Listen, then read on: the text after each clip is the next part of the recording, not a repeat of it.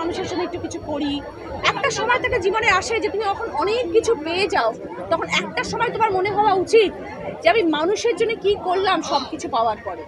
তো আজকে যদি আমি মানুষের জন্য আমার জীবনের শেষ অধ্যায়টা যেন যদি মানুষের জন্য কিছু করতে পারি, তাহলে এর থেকে ভালো জিনিস তো আর কিছু হতে পারে আমার তো জীবনে আর কিছু নতুন করে পাওয়ার নেই।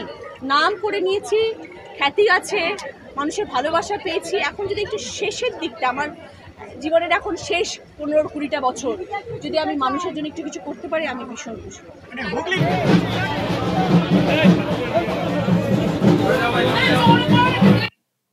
বাপ রে বাপ। কি বললেন রচনা ব্যানার্জি? প্রিয় দর্শক আমি শফিকুল ইসলাম এবং আপনারা দেখছেন আরামবাগ টিভি প্লাস। হুগলিতে প্রচার চালাচ্ছেন রচনা ব্যানার্জি তৃণমূল কংগ্রেসের ঘোষিত প্রার্থী।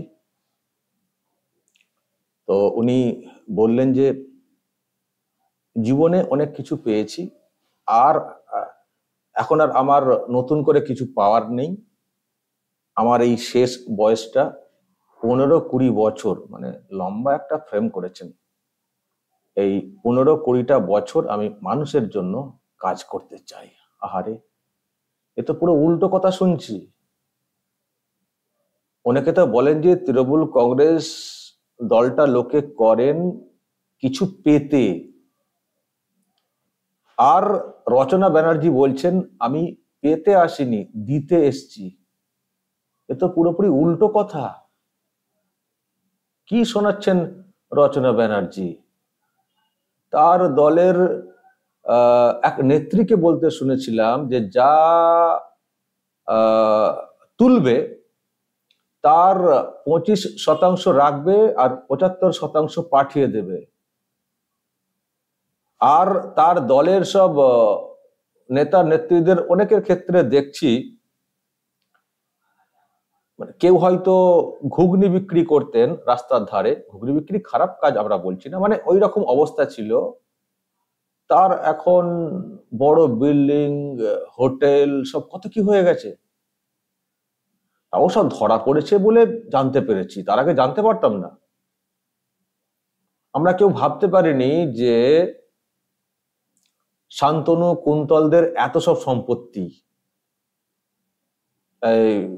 কেষ্ট মোডলের, কেষ্ট মোডল বা মন্ডলের এত সব ব্যাপার স্যাপার, জানতে পারতাম না।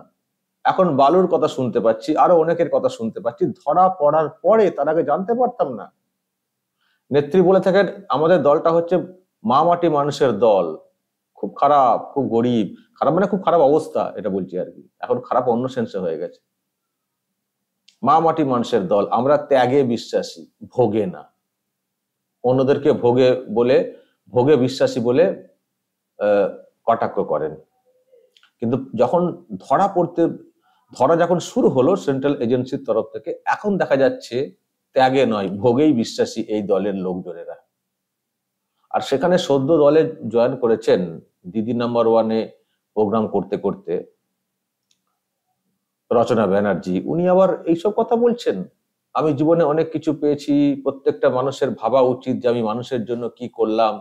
তো আমি, আমার আর নতুন করে তো কিছু পাওয়ার নেই। তো আমি এসছি মানুষের কাজে, মানুষের সেবায়। পনেরো কুড়িটা বছর যদি এই কাজটা করতে পারি, পনেরো কুড়িটা বছর?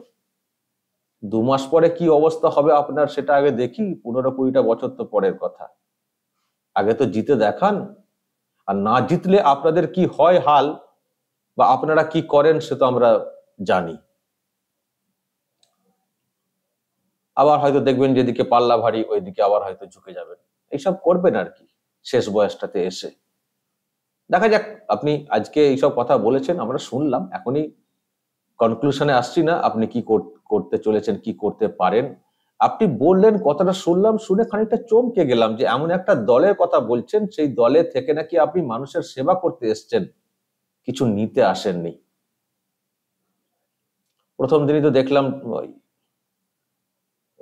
ডাকাত কালী মন্দিরে পুজো দিয়েছিলেন, এসেই।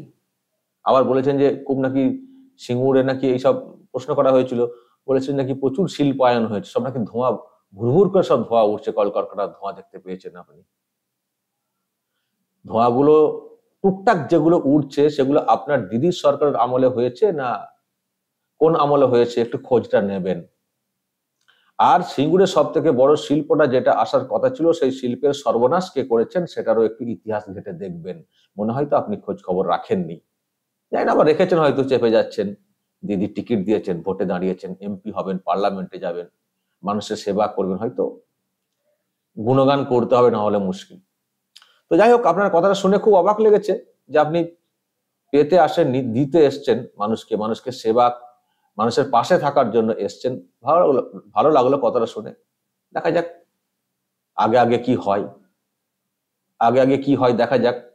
অনেকেই এরকম কথা বলেছিলেন, এমনকি আপনাদের আপনাদের স্বনামধন্য একজন অভিনেতা যিনি এমপি হয়েছেন ঘাটালে, তাকেও কিন্তু সেন্ট্রাল এজেন্সি ডেকেছিল কয়েকবার। গরু পাচারের টাকা কি আত্মসাৎ না সিনেমা করা, এইসব নিয়ে চলছে তদন্ত, এখনও ক্লিন চিট পাননি। ফলে এইসব দিতে আসার গল্প আমরা আগেও শুনেছি, আপনিও শোনালেন, শুনলাম। দেখতে চাই আগামী দিনে আপনি কতটা দিলেন আর কতটা লুটে পুটে নিলেন, সেটা দেখতে চাই আগামী দিনে, এখনই কিছু বলছি না। তবে দর্শক, আমি আজকে একটা, আরও একটা বক্তব্য শোনাবো। আমার শুনে তো মনে হলো যে এ তো মানে আদৌ কি বাস্তবে রয়েছেন নাকি এখনও দিদি নাম্বার ওয়ান সেটেতেই রয়েছেন? মানে এই যে প্রচার করছেন, ভোটের প্রচার, এটা বাস্তব উনি কি বুঝতে পারছেন নাকি ভাবছেন যে অভিনয় করতে এসেছি, যা খুশি বলা যায় চলে যাবে, হাসি ঠাট্টা করে চলে যাবে? উনি আদৌ সজ্ঞানে এসব, সজ্ঞানে থাকছেন তো নাকি একেবারে আবেগে বিভোর হয়ে এখনও দিদি ওয়ান, দিদি নাম্বার ওয়ান সেটের মতোই চলছে। আমি কথাটা এই জন্যই বলছি, কারণ আজকে একটা প্রশ্ন করা হয়েছিল কর্মসংস্থানের ব্যাপার নিয়ে। তো তখন উনি কি উত্তরটা দিয়েছেন? ভালো করে প্রশ্নটা ভালো করে শুনবেন দর্শক, আর উত্তর উত্তর যেগুলো দিয়েছেন সেগুলো ভালো করে শুনবেন। এবং বিচার করবেন যে যে প্রশ্ন করা হয়েছিল, ওটা কি তার উত্তর নাকি প্রশ্ন এক, উত্তর অন্য? বলা হচ্ছে যে- দিদি কলেজটা যাব কোন রাস্তা দিয়ে? বা অমক অমক জায়গায় যাব কোন রাস্তা দিয়ে? উনি উত্তর দিচ্ছেন, কেন আমি যে চটি চটি প্রশ্ন করা হচ্ছে এক, যে দিদি কলেজটা যাব কোন রাস্তা দিয়ে? বা অন্য কিছু আর কি, দিদি আপনি কোথায় এসছেন? এরকম একটা প্রশ্ন। আর উত্তর এমন দিয়েছেন যেন মনে হচ্ছে যে ওই রকম, যে প্রশ্ন করা হচ্ছে এক, আর উনি বলছেন যেন, কেন আমি যে চটি চাটা আমার মনে হচ্ছে দর্শক, আমি আপনাদেরকে একটু আগে শোনাই। প্রশ্নের সঙ্গে ওনার উত্তরের কি মিল রয়েছে, ভালো করে দর্শক শুনবেন। আমি তারপর ব্যাখ্যাতে আসব যে সত্যি ওনারা অভিনেত্রী হয়তো, অবশ্যই হয়তো কেন অভিনেত্রী তো বটেই। কিন্তু সবসময় মনে করেন যে যা বলবেন, মানুষ সেটাই বিশ্বাস করে নেবেন, মানুষ সব বোকা। আমি দর্শক, আপনাদেরকে একটু শোনাই। কর্মসংস্থান নিয়ে যখন প্রশ্ন করা হয়েছিল উনি কি উত্তরটা দিয়েছেন?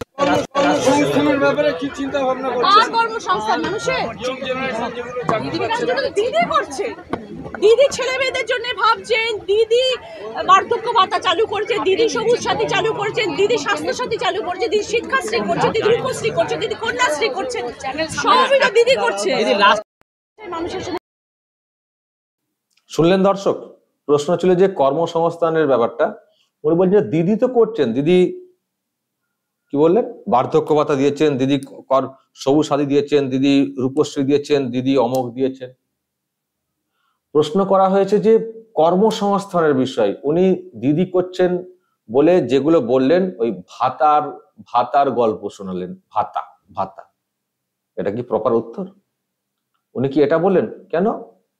কর্মসংস্থান হয়নি? কেন এই যে এখানে একটা শিল্প হয়েছে, ওখানে একটা শিল্প হয়েছে, ওখানে একটা শিল্প হয়েছে, এত এত লোকের পুলিশে চাকরি হয়েছে, এত লোকের স্কুলে চাকরি হয়েছে, এত লোকের আরও সব অন্য সেক্টরে ফুডের ডিপার্টমেন্টে চাকরি হয়েছে? এইসব বলেননি উনি ভাতা কোথায় কি দেওয়া হয়েছে সেগুলো বলেছেন। ভাতা মানে সস্তায় ভোট কেনার যে কর্মসূচি সেগুলো। অ্যাকচুয়াল উন্নয়ন উন্নয়ন নয় যেগুলো। উনি সেগুলো বললেন। প্রশ্ন করা হলো যে কর্মসংস্থানের বিষয় উনি উত্তর দিচ্ছেন অন্য। আর আমি সেজন্যই বলছিলাম, বলা হচ্ছে, দিদি অবক রাস্তাটা কোথায়? বলবেন বা অমুক জায়গায় যাব কলেজটা কোথায় যাব, বলবেন? উনি যেমন বলছেন, কেন, আমি যে চটি চাটা মানে প্রশ্ন করা হচ্ছে এক এটা জিজ্ঞাসা করেন যে আপনি কে? যে আপ- আপনি কে বলে, প্রশ্ন করলে আপনি বলতেই পারেন যে আমি চটি চাটা কিন্তু এখন তো প্রশ্ন করা হয়নি যে আপনি কে? প্রশ্ন করা হচ্ছে অন্য অন্য প্রশ্ন করা হয়েছে, উত্তর দিচ্ছেন আমি যে চটি চটি চাটা দর্শক, আমি উদাহরণ দিয়ে কথাটা বলছি, ছুটি চাটা ওনাকে আমি বলছি না। আমি উদাহরণ দিয়ে কথাটা বলছি। এটা। এটা উত্তর। তাকে কর্মসংস্থানের বিষয়ে জিজ্ঞাসা করা হচ্ছে। দিচ্ছেন অন্য অন্য উত্তর? আসলে ওটার তো কোনো উত্তর নেই। ওটার তো কোনো উত্তর নেই। কর্মসংস্থান তো নেই। সেজন্য ঘুরিয়ে ভাবছেন আমি, এইগুলো বলে দিই, মানুষ খুশি হয়ে যাবেন। পাল্টা আরও প্রশ্ন করা দরকার ছিল যে, দিদি, ওইটা কি কর্মসংস্থান? হ্যাঁ বেকার ভাতা না কি বললেন? বার্ধক্য ভাতা, এটা কর্মসংস্থান। রূপশ্রী কর্মসংস্থান, সবুজ সাথী কর্মসংস্থান। ওগুলো কর্মসংস্থান? বোঝেন তো কর্মসংস্থান। তো কি কাজ করবেন মানুষের? উনি তো প্রশ্নই বুঝতে পারেন না। আমি আপাত দৃষ্টিতে যা শুনলাম সেই নিরিখে বলছি। ন্যাকামো করলে সেটা অন্য বিষয়। ন্যাকামো করছে না ধরতে হবে। তো এরকম ন্যাকামি, ভণ্ডামি, নাটক, অভিনয় মানে এইসব করে কি ভেবেছেন? বাংলার মানুষকে? সব বোকা তাই না?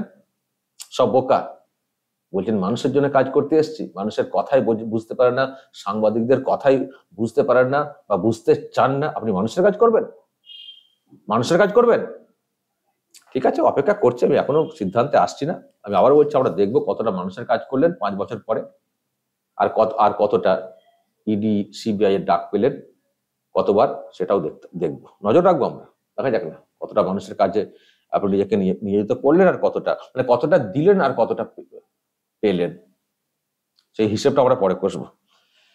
দর্শক, আপনাদের আপনাদের যদি কোনো আন্দাজ থাকে এখন থেকে হিসেব দেওয়া আর পাওয়া নিয়ে, বলতে পারেন কমেন্ট বক্সে নজর রাখবেন, আরামবাগ টিভি প্লাস